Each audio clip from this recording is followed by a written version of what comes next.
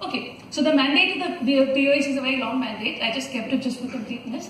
So essentially, the idea of the POEC was to increase public interest, awareness, and awareness of uh, and understanding of astronomy. And uh, we basically try to, we know that all through the country there are various groups which are doing very effective, good work. But it's obviously essential that these groups network together, get to know what they are doing, and uh, explore and participate in this interdisciplinary projects, promote the presence of astronomy knowledge in public domain, create resource material that could be used to plan campaigns, etc.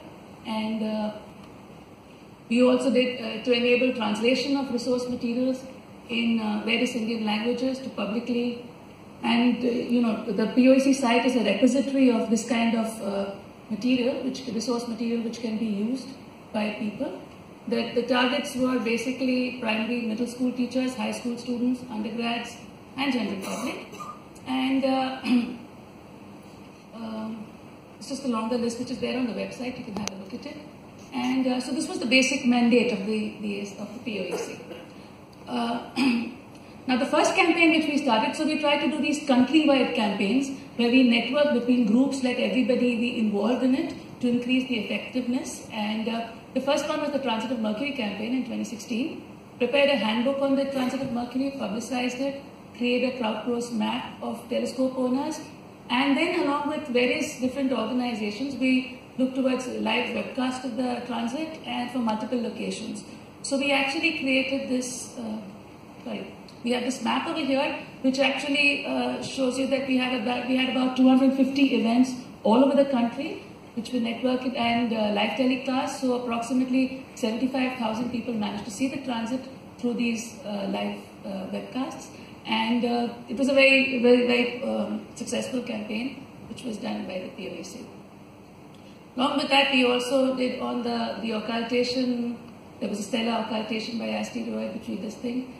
The Nehru Planetarium, that is Rathnasree, uh, they also did a festival of measurement, which was held at the Jantar Mantars in Delhi, Jaipur, Ujjain, as well as Varanasi. This was in 2016. The Zero Day has been a very popular campaign that we've had because it's typically for countries only which lie within the tropics, right? So it was kind of an unexplored territory, and we've been doing that since 2017. And uh, what we actually did is we organized regional training workshops in Pondicherry in both the years, Raipur, Mumbai, etc.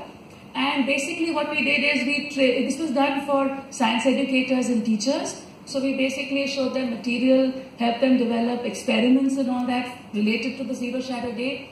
And uh, the, uh, the interesting thing that we also did with the Zero Shadow Day was that a very successful Zero Shadow Day application was developed, which is available for all Android phones. And on the basis of this app, you can actually find out the Zero Shadow Day for your particular location. The app has various uh, you know, educational things also with it, which are visualizations of the Zero Shadow Day. And this app uh, is translated into eight languages uh, various Indian languages, seven English, and there's also Spanish in there because you had some Spanish groups who were interested in uh, the app. And uh, this, this, this has been a very good campaign because it gives very good concepts of the motion of the sun, uh, which can be done at a very simple level. We used it to also explain, this is the Nadi which is at Jantar Mantar. So we actually help uh, show people how to actually make sundials of this kind do it as an experiment with this protractor and this, that. And you can also have these various experiments which are described over here. You see that the schools who basically took up these campaigns are very simple uh, government schools and not much um, equipment is required for them, so it's low cost and very easy to implement. And therefore, this was also a very, very good campaign which was run. It was um, very successful. We also did campaigns for the lunar eclipse last year it was in January, which was the Bloody Moon one, and the partial lunar eclipse in July. For this also, uh, an extensive campaign was run to motivate people to see the eclipses. Again, we made an online uh, map showing all public uh, eclipse events. And uh, we work with developers again to do apps and run a web page with resource materials, various articles for the press. And another thing which we did very strongly was, uh, you know, in today's times where rational thinking is not being encouraged so much. We actually ran social media campaign with the hashtag of eclipse eating and things like that. So we had about 500 public events that were on our interactive map. So people who were having an event, they could post their event, which was then placed onto the map, so that um, others could actually see which is the closest event to their uh, location, and they can accordingly attend whatever they would like to attend or interact with those people. We also uh, try to do work with AstroSat, so we um, developed uh, uh, writing significant parts of the ISRO booklet for the AstroSat, which is available online. There was a film made which filmed six astronomers talking about the mission. There's an FAQ which was developed on the AstroSat, available on the POEC website in Marathi and Hindi. Organized a press, press conference to meet the AstroSat astronomers in Pune. They are organized in Mumbai as well as Bangalore. And five posters were made on AstroSat, which were dis- uh, you know, designed. And one can download it from the POEC site if you want to put it up in your educational you know, institute, university, school, wherever you want. It can be done with that. we also set up the uh, AstroSat picture, AstroSat picture of the month program. So every month we actually uh, used AstroSat images to um, project the work of AstroSat. Yeah, the Delhi Planetarium also uh, did a Planetarium Sky Theatre interaction for AstroSat called Under the Stars, and there was a media outreach for one year of AstroSat along with the television programs. If you're aware, Vigyan Prasar now has their own channel, so um, this is also being used by us. And since 2017, we started a web campaign on AstroSat Picture of the Month. That was the APOM which I showed you earlier.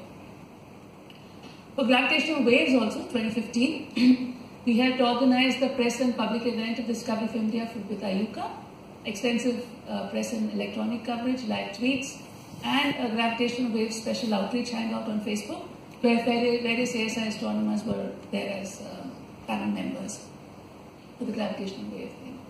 Various documents also have been developed by the POEC, For example, along with CESSI IISER Kolkata for the work that Dibya and spoke about, we actually did a press, press release on it to publicize it to the Indian audience. Worked with the gravitational wave community again for press coverage on the event as well as uh, AstroSat. And uh, there were articles written on debunking reports of harmful effects. So, yeah, this is, are, these are all the documents done. Neeraj has been constantly writing a lot of with, uh, articles with Science Wire, and um, so you can have a look at those articles too. Right? Um, amongst the present ones also which we started on is that this is the year, rather 2018 was the year of, yeah, was the year of the 400th anniversary of actually the first telescopic observations from India. This was from Goa by a Father, I can't pronounce that name, and the co-discovery of a comet by Jahangir, which is actually documented, which is there in this painting. And therefore, a number of public events were organized in Goa, etc., to uh, commemorate this event. Mm. There is also what is called the Bapu Khagol Mela, which is basically being run by Rathnasree, the director of the Delhi Planetarium. And she's actually gone, so this started from last year, 20th, uh, from the 2nd October last year, 2018. And she's already done 60 public events in 40 different places in 10 states. This is basically, um, uh, so there is this document called the Khagol Talim, which is a, uh, a document detailing the simple hands-on activities motivated by Gandhiji's writings on education and astronomy. And that is what she's been publicizing with this Khagol, Bapu Khagol, Khagol Mela.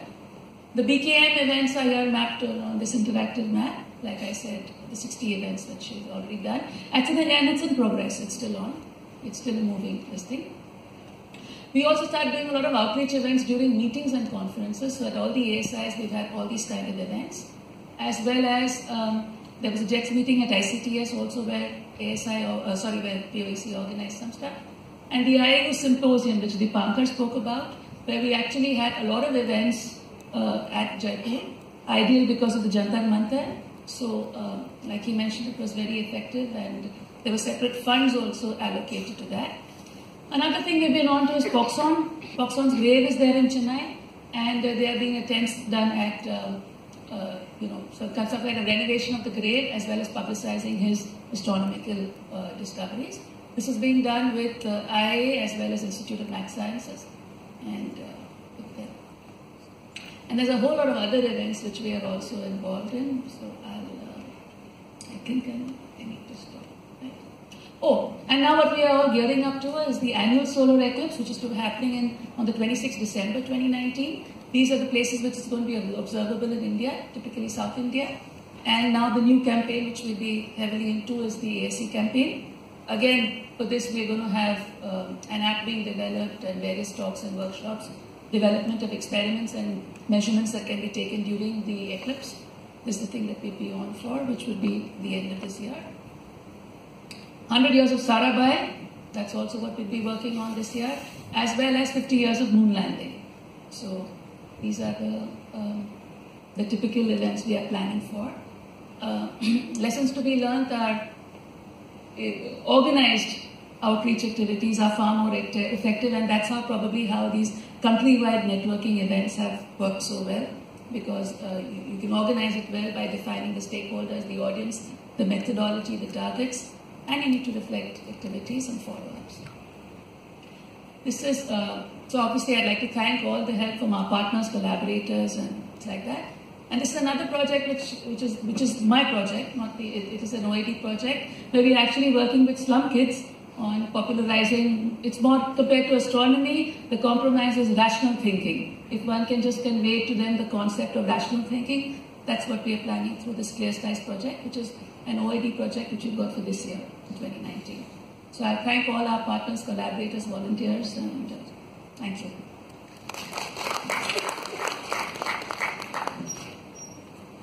leaders.